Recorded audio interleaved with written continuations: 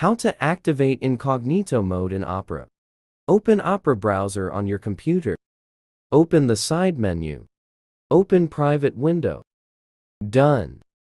Once you've closed all the private windows after your browsing session, your data, such as history, cache, and cookies, will be erased automatically. Thanks for watching video.